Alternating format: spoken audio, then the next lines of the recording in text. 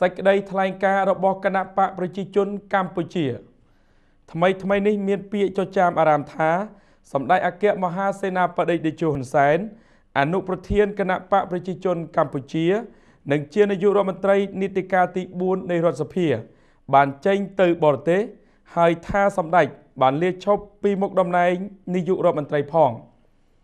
នេះជាសង្គ្រាមចិត្តសាស្ត្រដែលពួកអកតេតែងតែប្រឌិត ដើម្បីបំពុលបរិយាកាសសង្គមគណៈបកប្រជាជនកម្ពុជាសូមបញ្ជាក់ថាសម្ដេចអគ្គមហាសេនាបតីតេជោហ៊ុនសែនកំពុងស្ថិតនៅក្នុងប្រទេស និងបំពេញមុខតំណែងជានាយករដ្ឋមន្ត្រី នៃព្រះរាជាណាចក្រកម្ពុជាជាធម្មតា ជាថ្មីម្ដងទៀតគណៈបកប្រជាជនកម្ពុជា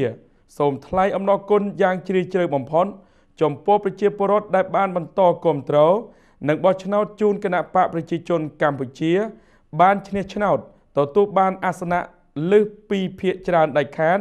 ដែលអាចឲ្យគណៈបកប្រជាជនកម្ពុជា បង្កើតរាជរដ្ឋាភិបាលថ្មីបាន ស្របតាមរដ្ឋធម្មនុញ្ញហើយសម្ដេចអគ្គមហាសេនាបតីតេជោហ៊ុនសែននឹងបន្តធ្វើជានាយករដ្ឋមន្ត្រី នៃរាជរដ្ឋាភិបាលនីតិកាលទី5នៃរដ្ឋសភាគណៈបកប្រជាជនកម្ពុជា បន្តពង្រឹងសាមគ្គីភាព ឯកភាពផ្ទៃក្នុងឲ្យកាន់តែរឹងមាំថែមទៀតដើម្បីការពារផលប្រយោជន៍ដ៏ឧត្តមឧត្តមរបស់ប្រទេសជាតិ